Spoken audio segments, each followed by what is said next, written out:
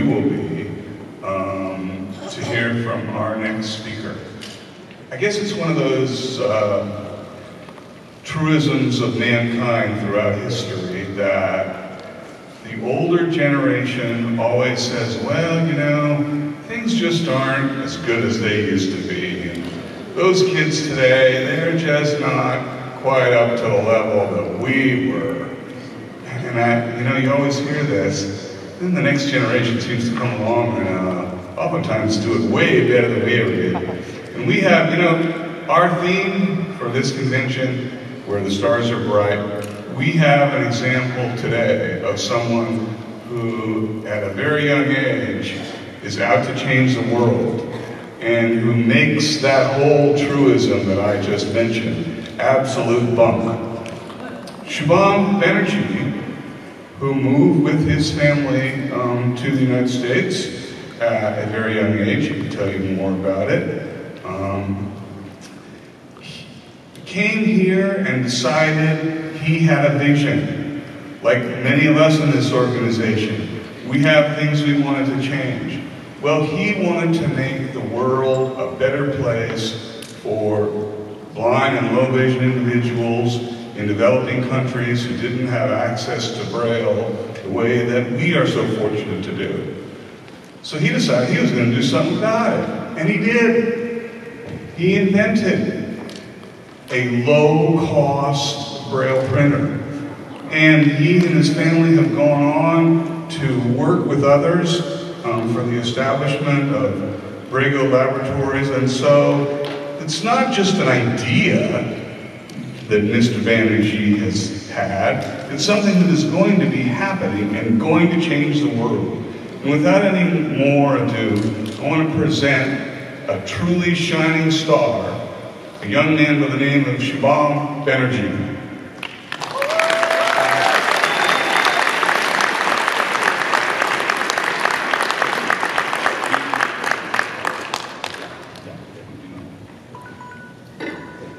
Uh, thank you, Jeff. Uh, this is Dan Sipple, uh, President of RSVA. And it is with true honor that we uh, bring to you an very inspiring gentleman. Uh, we had breakfast this morning and we were talking in, in, in this very humble, humble uh, manner. He was inspired by a fundraising brochure delivered to his home. And he thought, what can I do for these people?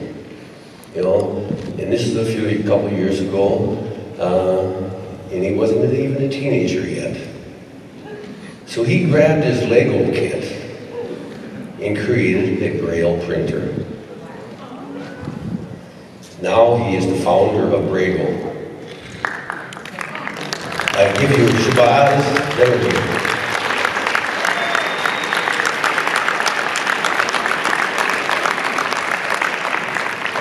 Hello, good morning. Um, I just want to thank um, the American Council for the Blind and uh, Randolph Sheppard Vendors of America for giving me this platform to speak to y'all. And uh, so yeah, so uh, I guess let's talk about my journey. Um, it, it's great to see you all here. Um, I feel so awesome to stand up on the stage and uh, talk to you guys. And yeah. Uh, forgive my stuttering and uh, mistakes because I'm really nervous right now. Um, but yeah. um, so basically, in, in December of 2013, a flyer came to, to my house asking for donations for the blind. And, um, you know, me being me, I guess my wheels started grinding and I was just wondering, what, how would a visually impaired person read if he got this flyer? And I guess I, sort of asked my parents, you know, how do visually impaired people um, read? And they're quite busy, so they said, you know, don't bother me, go and Google it yourself. so I did go Google it, and I researched about the visually impaired, and I found out about Louis Braille and how he invented the Braille language, and that there's Braille printers. And I realized that one Braille printer can cost up to $50,000, and they start up to $2,000. And I realized that, you know, it would be, it'd be really hard for you know, a normal average person to afford that, especially counting the, the 30 million legally blind people uh, living in developing countries. Um, it'd be very hard for them to pay for a braille printer. So my school semester was coming up and I put that aside and I wanted to do something, you know, just a school science project, nothing big. So I decided to do something with plants, and um, I would have three plants with different colors of lights and uh, how that affected. And my mom came in and said, no, you can't do that, you have to do something better. So I put that aside. And so I guess thanks to my mom, I wouldn't really, if it weren't for her, I wouldn't really be here right now. Um, so yeah. So I, I went back to that idea and um, those thoughts, and I figured out that I actually wanted to do something. And I've been loving Lego ever since I was two years old. I've been playing with normal Lego kits, and um, this is where I really wanted to do something with Lego. And so I asked my dad to buy me the newest robotics kit, the EV3. And since it wasn't really an Xbox or a game that I really wanted, it came in the next day.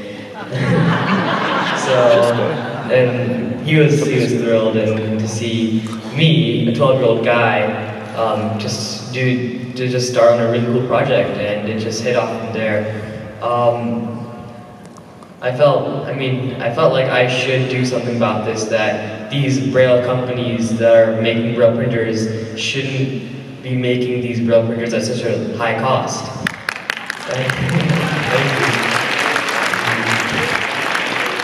So I sat there for many days. Um, it took about a month for the whole process. I sat there when I came back from school until 2 o'clock in the morning. I would have a final the next day. I didn't really mind. I had to get this project done. Um, I just kept on per persevering and uh, going through it, and in the end it worked out as Braigo 1.0. And uh, it hit the news suddenly, and it just went ballistic. Um, I was appeared on many news channels, and um, basically that was the start of Braigo. And um, so after I built Braigo 1.0, um, the cost for Braigo 1.0, by the way, was $350 um, compared to the $2,000 one, so yeah.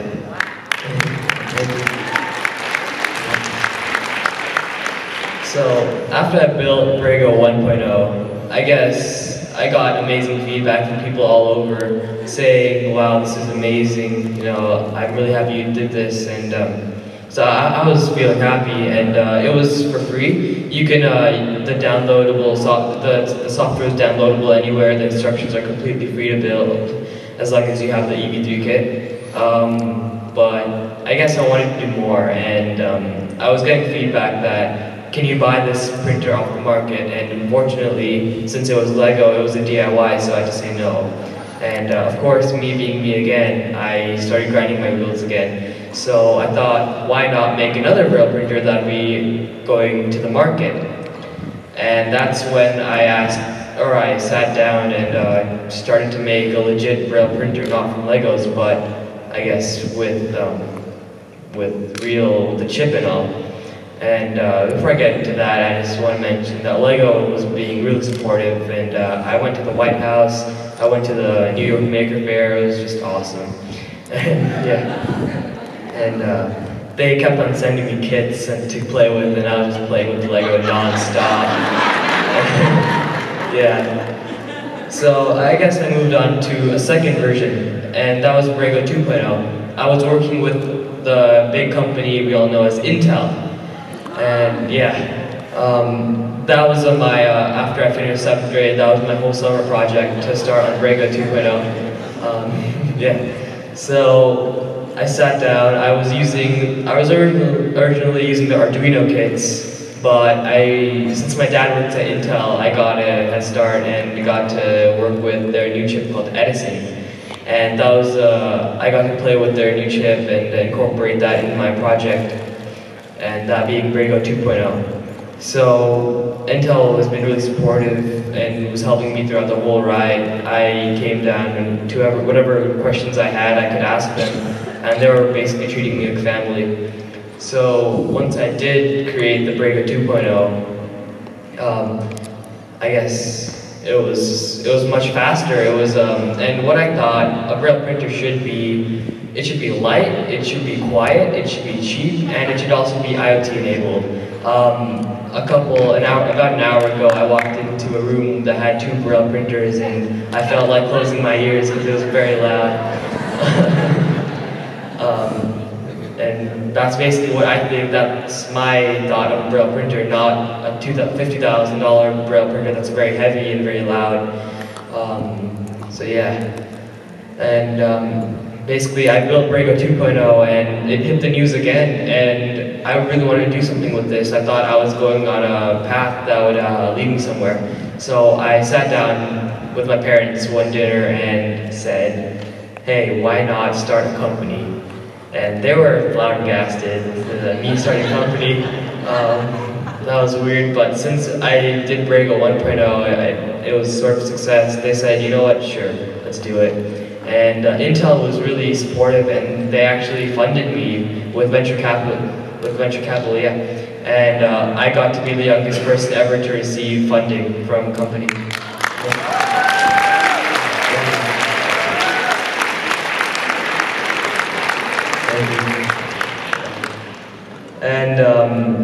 Basically, it was just a hit ride, and uh, we're not completely done with it yet. Uh, we're still getting the real design for the real Braigo that we launch into the market, and for 100%, we know it's going to be less than $500 for sure.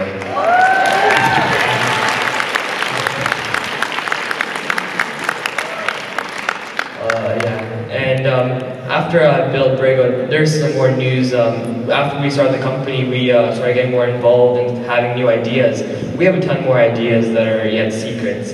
But uh, one thing for sure that I can share with you guys is that um, we all know how Braille transcribing can cost a lot of money and take some time, right? Yeah. Um, we at Braigo Labs, we found out a way to make this whole process completely free. Um, we have, you can, there's a software that I've made that, that's on the chip itself. You can go to any PDF, automatically download it on the servers, and it'll transcribe for you completely free, no charge. Yeah.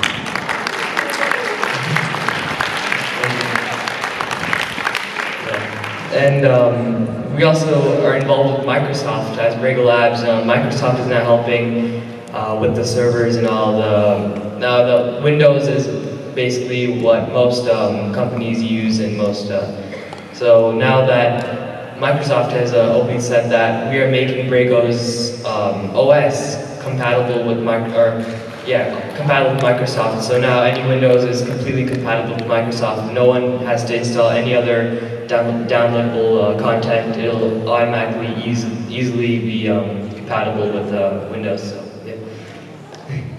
And.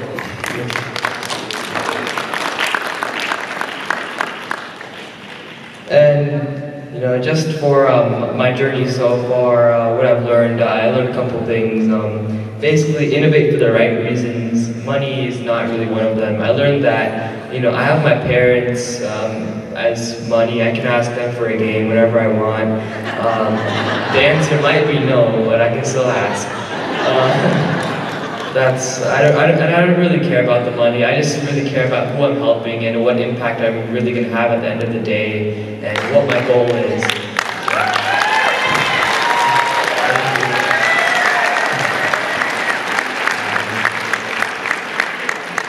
Um, also, is that uh, do social good. Um, yeah, making apps is awesome and all, and it is beneficial. And but making apps for the right reason is also very good, and that's what I believe is awesome and very beneficial, especially um, yeah. So and doing social good is definitely benefit benefiting not not only for the people but for yourself because you know you're doing something good, and not only are you helping other people but you're helping yourself also, and that's what I believe is very important.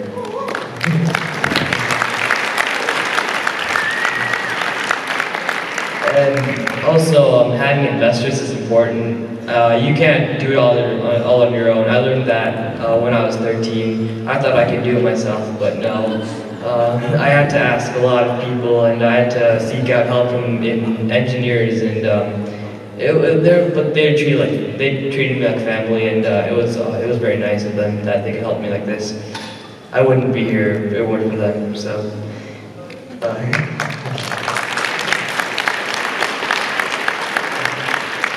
And um, also work for the right team or with the right team. I guess uh, two people that really were influential were my dad and my mom. Um, when I was making Braigo 2.0, I I didn't really have any investors, and my dad was my only investor.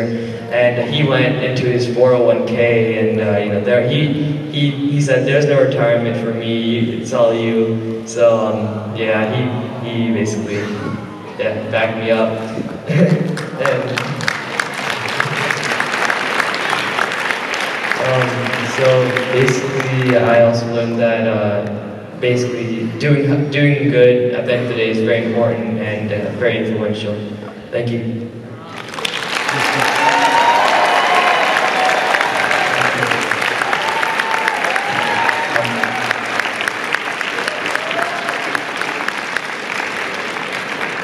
Before I turn it over to um, Kim and Dan Sibyl for a special presentation, um, I I was thrilled to see as a fellow parent that um, Shubham concluded his um, address to us by mentioning his parents. And for all of us parents, you know, he truly obviously has an awesome mother and father. Let's give another super round of applause for them. Okay, I'm gonna turn it over to Dan. We, we truly, um, I want to thank and recognize Randolph Sheppard Vendors of America for coming to me and saying that they would partner with us to bring Shubham and his family here so that he could deliver his message to us about his dreams for the future. And a brand printer And ACB are presenting an award, and we're calling it the Innovation and Creativity Award in recognition of your tremendous, uh, and this is from memory, so I do apologize, your tremendous um, innovation and spirit of social justice um, for making an accessible Braille printer for people all around the world. So thank you so much for being who you are and caring so much for literacy for people who are blind. Leonard? Okay.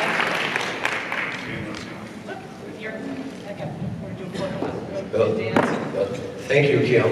Thank, that, that is just so miraculous that, uh, Shubham, he just entered the teenage world. He just recently celebrated his 13th birthday. Just think of all of us that what we've, what we've accomplished in our lifetime with our limited knowledge, what can we expect from the future? Unbelievable.